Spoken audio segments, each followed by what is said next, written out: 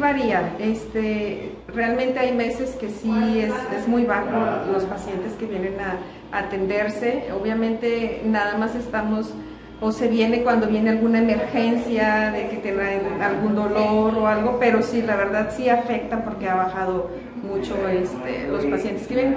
Claro, también este, no, no nos podemos quedar porque de repente sí, pues sí vienen pacientes. Tenemos este, varias estadísticas que aquí sacamos, ¿verdad? Por decir, cuando empezó la pandemia en marzo, ahí lo que fue marzo, abril y mayo sí bajó hasta el 50%, totalmente, porque obviamente cuando fue cuando empezó todo esto ya era el miedo de todos los pacientes, tanto miedo del paciente, el turismo y miedo por parte de nosotros también, ¿verdad? O sea, y después de esto se empezó a reactivar un poquito, o sea, la verdad se empezaron a venir pacientes, pero es por lo mismo que te digo, alguna emergencia, este, que necesitaban venir. Yo soy especialista en ortodoncia, entonces mis pacientes pues obviamente ya empezaron a venir porque se les calaba el alambrito, esto, lo otro, y como que los obligó a venir eso, entonces la verdad sí se reactivó un poco más en este, en este tiempo. La verdad sí, o sea, si ustedes dan una vuelta, de hecho que todo el mundo viene aquí, este, todo lo que, el comercio que hay aquí es dental, porque sí es algo que